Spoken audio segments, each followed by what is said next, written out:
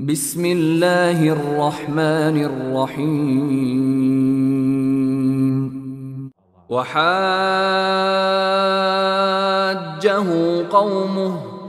قال أتحاجوني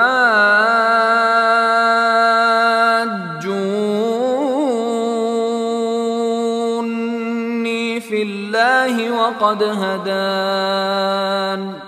ولا أخاف ما تشركون به إلا أن يشاء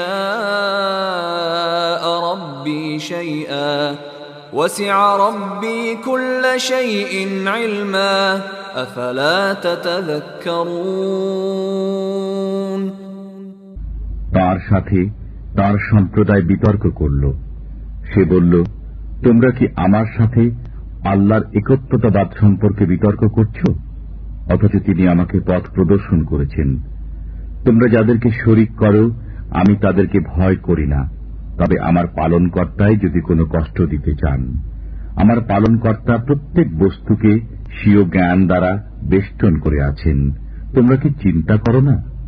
وكيف أخاف ما أشركتم ولا تخافون أنكم أشركتم بالله ما لم ينزل به عليكم سلطانا فأي الفريقين أحق بالأمن إن كنتم تعلمون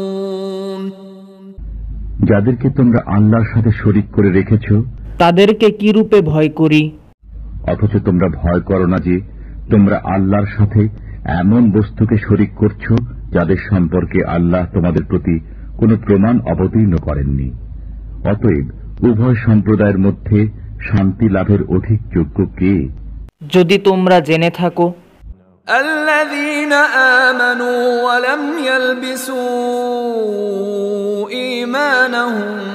بظلم أولئك لهم الأمن وهم مهتدون যারা ঈমান আনে এবং স্বীয় বিশ্বাসকে অন্যায় আচরণের সাথে মিশ্রিত করে না তাদের জন্যই শান্তি এবং তারাই সুপথগামী وتلك حجتنا آتيناها إبراهيم على قومه نرفع درجات من نشاء إن ربك حكيم عليم